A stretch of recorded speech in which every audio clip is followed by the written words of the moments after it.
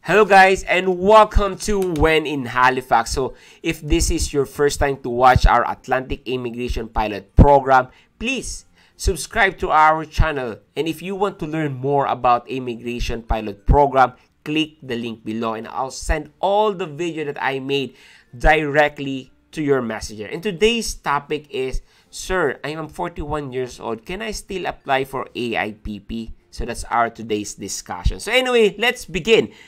If you are 41 years old and above, the answer is yes. You can apply for AIPP. Again, guys, always remember that AIPP is employer driven. What is employer driven? Employer driven means the employer has a decision whoever, whatever uh, kind of employee that he or she wants to hire. So if even though she, she or he can hire a young individual, an old people, a well-experienced people. Uh, it depends on the employer because it's employer driven. So if the employer likes you, even you are 41 years old, the decision will always from the employer. Guys, don't be confused with the express entry. Don't be confused with the provincial nominee because this provincial nominee and express entry they are based from the CRS score. And to get a good CRS score is you must be, you must apply less than 35 years old to get a perfect score, right? But in AIPP, guys, there's no age. There's no specific age required because it's, again, it's employer driven.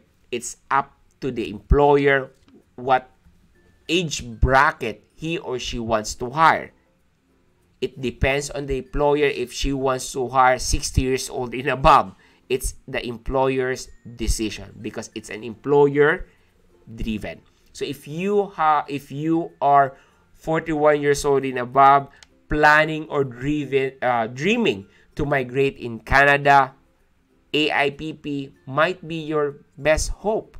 Try the AIPP, try to look for your employer and then who knows? There's no harm wala pong mawawala if you're going to try, right? It's free. If you're going to look for an employer through online from the designated list for the job search engine, you will not lose anything. It's free.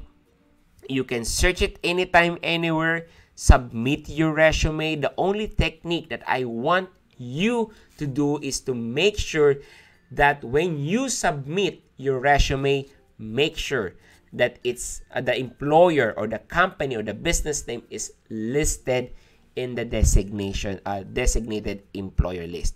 So the next video guys, follow us in our uh, follow us in our Facebook, subscribe to our channel because on our next video I'm going to show to you guys on how to find a designated employer from different provinces which is the Newfoundland, New Brunswick, uh, Nova Scotia, and Prince Edward. So, if you want to learn more about Atlantic Immigration Pilot Program, please click the link. Send all the video that I made uh, directly to your messages. See you guys, and I hope you find it helpful. Please share this video to your friends and family because sharing is caring. Bye-bye, guys.